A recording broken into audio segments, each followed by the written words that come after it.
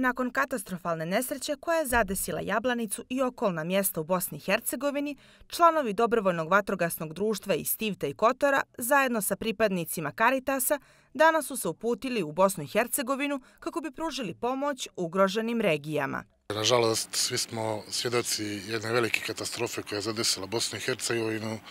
Tim povodom su se dva dobrovoljna društva iz Tivta u saradnji sa Karitasom Kotorske biskupije eh, organizovali i danas idemo da uputimo pomoć u ljudstvu, opremi i humanitarnu pomoć, eh, prvenstveno eh, gradu Konjicu, koji je inače pobratinski grad grada Tivta.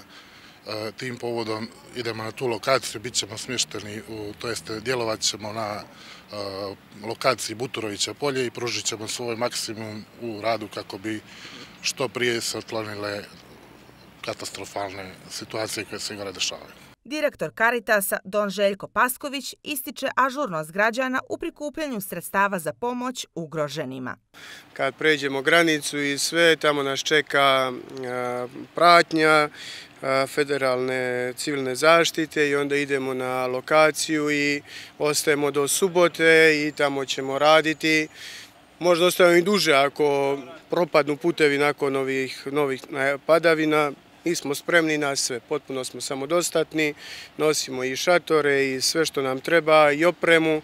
Istaknuo bi da nosimo i deset agregata i gorivo, to je benzin za njih, koje ćemo donirati civilnoj zaštiti kako bi mogla sela koja nemaju struju ili napajanje imati barem neko napajanje. Tako da stvarno smo računali na sve i nosimo jednu jednu lijepu i veću količinu namjernica. Kako obavještavaju iz volontarskog centra Herceg Novi u prostorijama u prizemlju zgrade Novljanka na Toploj i danas će se do 20 časova prikupljati osnovne životne namjernice koje će biti poslate u narodnoj turi za Bosnu i Hercegovinu. Herzegovinu.